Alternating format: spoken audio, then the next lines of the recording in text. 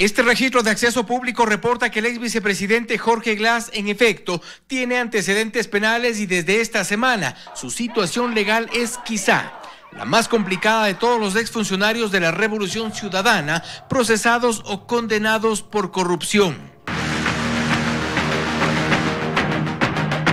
Este recorrido de Glass en lo que a los casos de corrupción se refiere se agrava desde su detención en octubre del 2017 por el caso Odebrecht.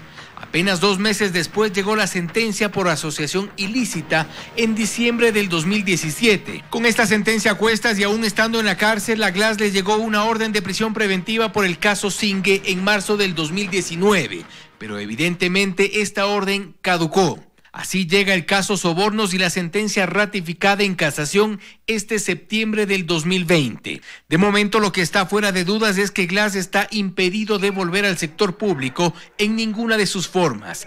Ha perdido sus derechos de participación y ciudadanía. Intentamos, pero sin obtener respuesta, que su abogado Harrison Salcedo nos hable de la compleja situación legal del ex vicepresidente. Glass enfrenta a una condena del caso Odebrecht por asociación ilícita a seis años de cárcel y con el caso Sobornos por cohecho agravado a ocho años. El Código Orgánico Integral Penal establece la acumulación de penas, pero este abogado cree que no aplica para este caso. En este caso en particular, la pena menor será absorbida por la pena mayor y se verá y deberá cumplir una sentencia de ocho años de privación de libertad. Y es que Jorge Glass recibió sentencia en ambos casos con el Código Penal anterior. Y si al final accede a los beneficios de ley, se podrá aplicar sin lugar a dudas el Código de Ejecución de Penas porque ha sido sentenciado con el Código Penal y beneficiarse de la prelibertad. La condena a cumplir sería mínima.